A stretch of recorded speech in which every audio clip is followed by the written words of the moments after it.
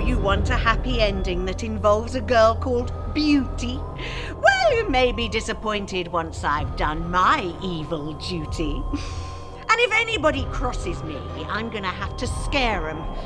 So I've something special up my sleeve for the great unwashed of Fareham.